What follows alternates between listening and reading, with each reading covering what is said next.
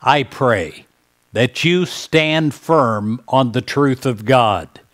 Your life and everything that affects your life and everyday living of your life are built on the permanent foundation of God's truth.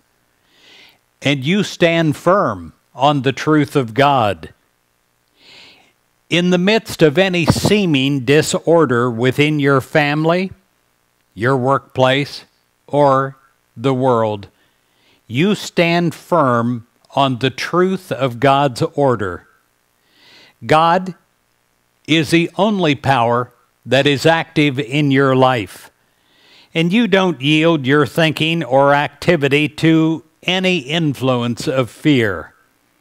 You do not give symptoms of apparent physical challenges the power over your thoughts or your body.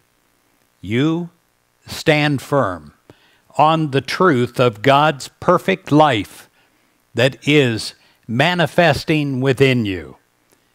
You call forth this perfection with affirmations of perfect health.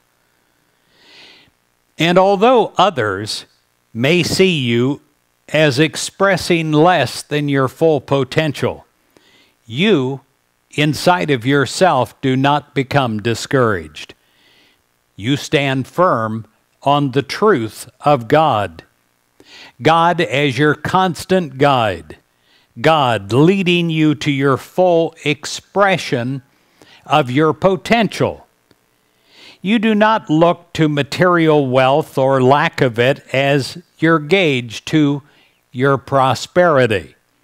You stand firm on the truth of God. God as the one source of good that is always available to you. You stand firm on the truth of God.